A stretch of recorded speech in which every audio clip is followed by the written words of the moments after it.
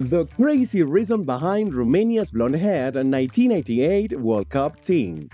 If you think Neymar and Messi are eccentric for bleaching their hair blonde, wait till you hear about Romania's 1988 World Cup team. Iconic, funny, and bizarre. These are the words to describe the Romania 1988 World Cup team. Not just because it was their last outing at the World Cup, but there were some seemingly silent facts that derailed the golden generation of Romania's national team.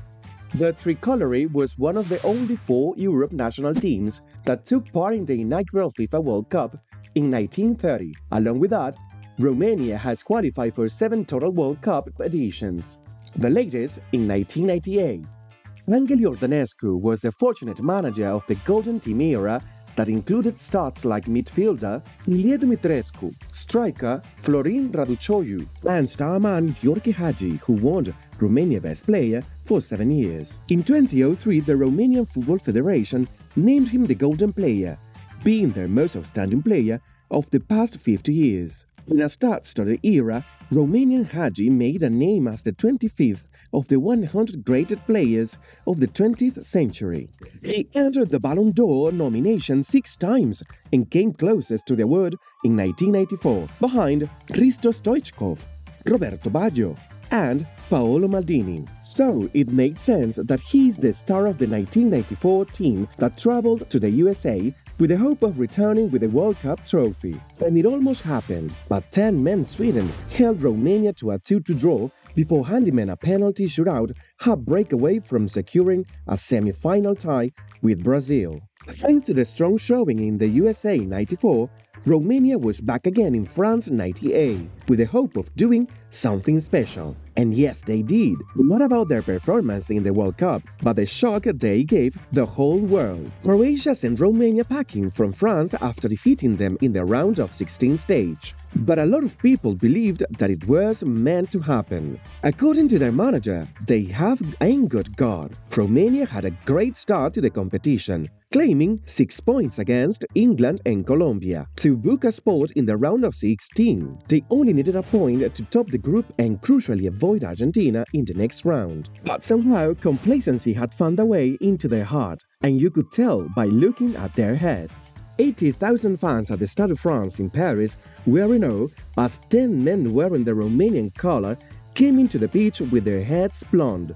They turned out to be the Romanian national team players because the evening before their game against Tunisia, the team invited local hairdressers to bleach everyone's hair. Different teams have some sort of a speech orchestration that it's meant to inspire team spirit. For the Romanian 88 team, two days to their official kickoff against Colombia, they had a strategy meeting where they challenged their manager Mr. Iordănescu, asking if he would be willing to shave his head if they qualified after two matches. He agreed, and since it has to be mutual, the whole team also decided that they would in response dye theirs too. Then, after beating Colombia and England, it was time for everyone to fulfill their part of the agreement, and that was what happened. After 20 years, striker Gheorghe Craioveanu recounted experience of how the bleach burned his scalp left bald patches on his head He said in regret, They butchered us. It was so painful I could only sleep on one side of my body for about three days.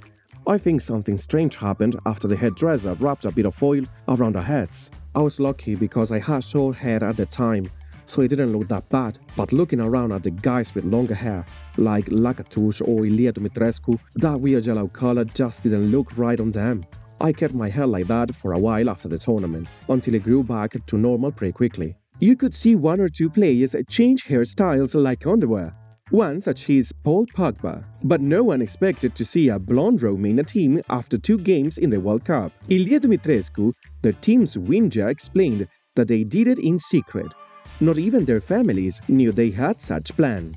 The operation was carried out after their final training session, and on returning to the hotel, everyone thought it was a different team. The only one not blonde was the goalkeeper probably because he had no hair to bleach. The field stadium seeing the players walk out of the dressing room was shocked, but the commentators needed to quickly get over theirs to handle the difficult task of distinguishing the players. such that when the team's intention to dye their hair was rumored at the hearing of Romanian national TV commentator Emil Grădinescu, he did not believe it. So, when the foreign commentators were caught in the confusion, even he could not bail them out. For the players, they had their own share of the self-inflicted confusion. They had bleached away their identities, such that they couldn't recognize each other on the pitch, except for the goalkeeper, who was bald. Grădinescu and a few others felt that the action took an unfortunate twist on them. He said, in terms of motivation, there was a bad idea that was badly executed. The players had slipped into their relaxed, holiday-like mood. We were lucky to draw against Tunisia. That's how badly we played. Then we embarrassed ourselves against Croatia. Over and over, consequent Romania players have been warmed by legends like Michel Platini, to abstain from such reckless action that derailed the golden generation if they desired to be successful again. Eventually, the team learned its lesson, but it appears as though the god of football has not forgiven Romania's national team, because 24 years have gone by and Romania is still waiting for the next opportunity to right the wrong they did in France 98 and give their loyal fans a new song to sing. Football fans, can you think of a more absurd World Cup moment? Let us know in the comment section. If you enjoyed this video, make sure to leave a like and subscribe so you don't miss a future video.